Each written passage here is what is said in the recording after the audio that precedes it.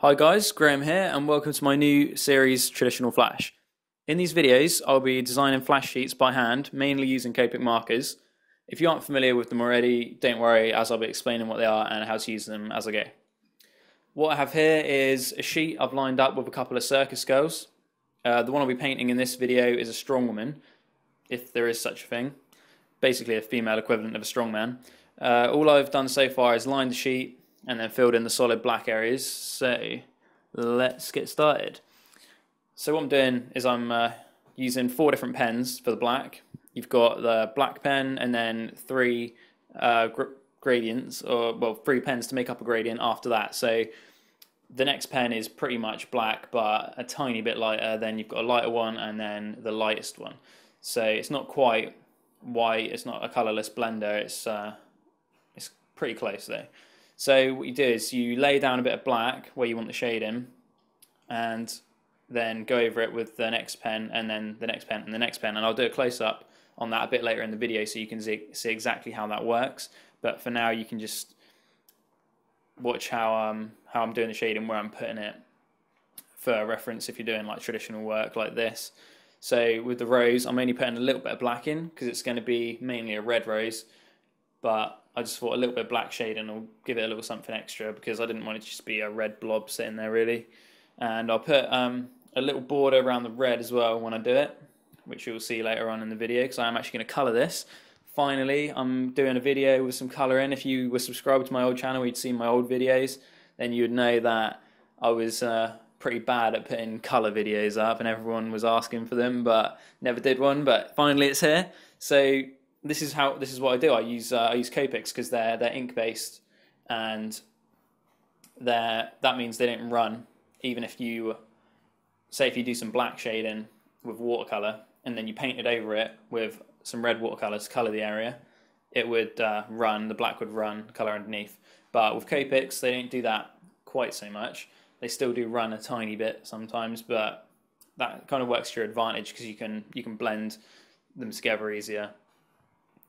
But generally with inks, they stay put, which is good in some respects, bad in some others, because you uh, make, if you make a mistake, that's it. It's there. It's not coming off. So you've got to be careful what you're doing with them. It's best to practice with watercolors really with a brush, but yeah, like I say, inks are the way forward. If you have a bit of experience, then they're great. So what I'm doing is I'm just going around the bottom of the what is it weight with a uh, with a large area of black, leaving a little highlight at the top. With traditional work, you want to put a lot of black in because they didn't have that many colours um, back when this original sort of style came about. Maybe had like four or five colours.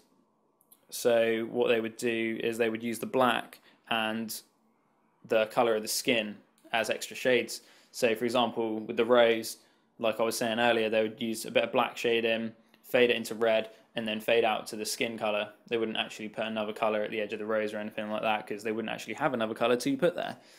So, okay, onto the hair now. This is just going to be black hair, just real simple. I haven't put any lines for it or anything. There's going to be no highlights running through the hair. It's just a highlight around the top. Really simple, really traditional. So I'm blocking in the darker area first. You don't have to worry about the black pen drying before you blend over it. And then I'm going around with the next one that's quick, so that's still wet while I go over it with the next one. Because you don't have to worry about the black drying and blend it into the next pen because the next pen is so close. And I'll put the numbers of the, because uh, Copics are coded. So I'll put the codes for each pen that I'm using in the description if you're interested in buying the exact same ones. And this part, um, I'm just showing you that I can't shade at the top of the leaf because there's black leading into it and it would kind of blur into the leaf if you see what I mean. So I'm shading at the bottom instead and I'm doing this bit in real time just so you can see how long it takes to actually do a little bit of shading. So you've got the black, going over it with one stroke of the next pen and then the third pen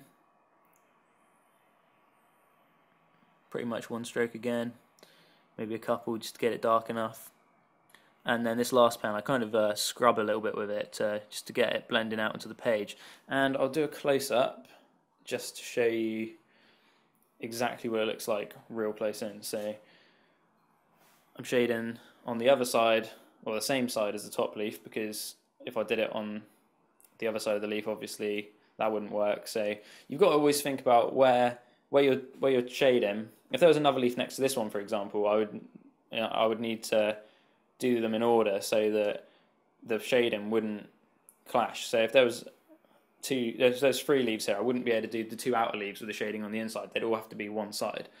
So try and bear that in mind so you don't make any mistakes and end up with big areas of black blended into each other. So there we have the third pen and the last pen just blended over it and voila you have a nice gradient and it's that easy with these pens they're, they're really good. So back to speed painting now. Um, what was I going to say? Oh with um, if you see if you were painting with normal inks in a brush you would literally have water and a black ink. So you'd paint the black ink in, and then you'd go along the edge with some water on a, with a clean brush to blend the blend it out and get a gradient. But obviously that's only two colours, so it's a lot harder for beginners or people who aren't that experienced at working with inks and painting in general to get a good gradient. But with these pens, it makes it a million times easier. I mean, to be honest, I don't really, I don't find inks easy to use at all. I haven't really used them that much, but when I have used them, I've found that they they blend a bit weird, and I don't know. Maybe I'm using the wrong type of ink, but yeah, I don't really get on with them that well. But then I used these pens, and I was like, okay, yeah, this is great. This is exactly what I need.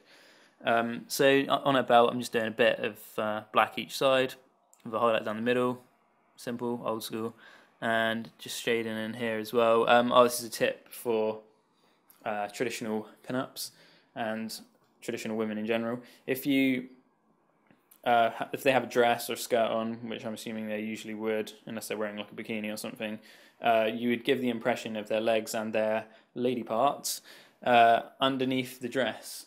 And these are the colours that I use. I will put the colour codes for these in the description as well, as I can't really remember them off the top of my head right now, but that's a colourless blender right there. Uh, that's red and yellow and green and a brown.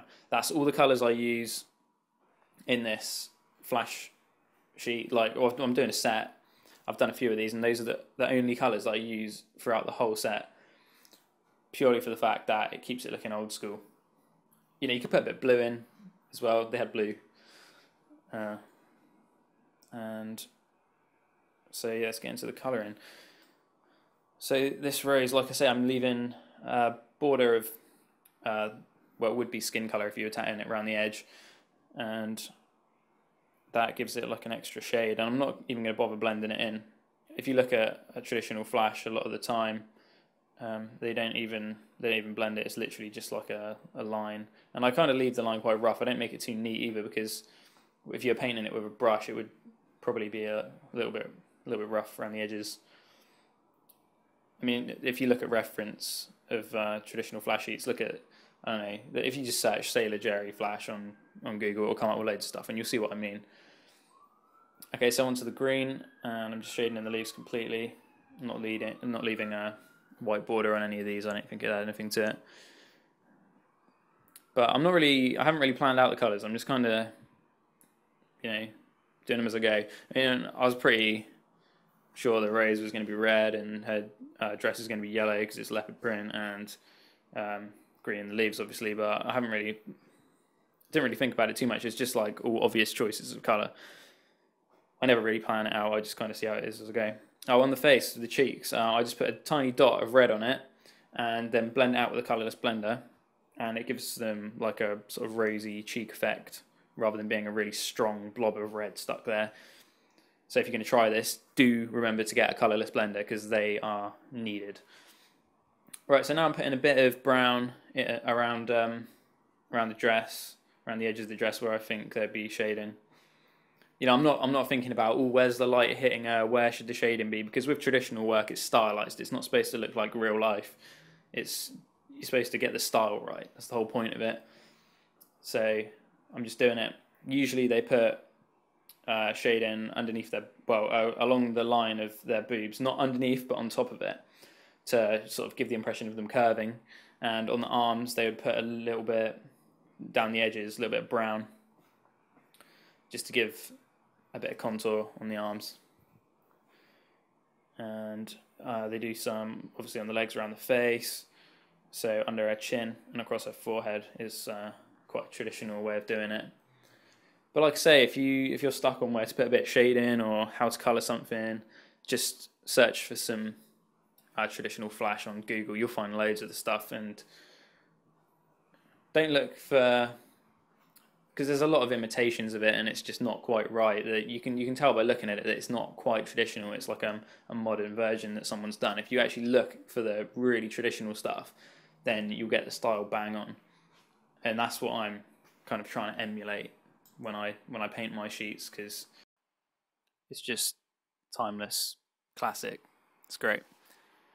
Right, I think that's pretty much all the brown done now.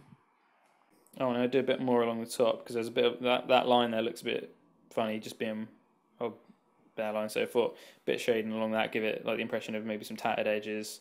Same again along the bottom. And then I'll be colouring her dress in yellow. And I've done the black leopard print dots, obviously all over it. So with the yellow, I've now got to go around them. But because it's an ink, I don't have to worry about them blurring out, like because I'm putting yellow pretty much over it. And I can even go over the black a bit. I don't have to worry about it too much at all without it without it blending out. So that's a you know major advantage of using inks. It does make your life easier in some respects. And I would say when you're using pens like this, the advantages of using inks far outweigh the advantages of using watercolor. So that's her dress done, and that's the sheet done. So this is what it looks like completed with the other girl painted as well. And if you want to see me doing uh, painting her, then I'll be doing that in my next video. So uh, subscribe, like if this video helped you, comment with any suggestions or anything you want to see, and thanks for watching.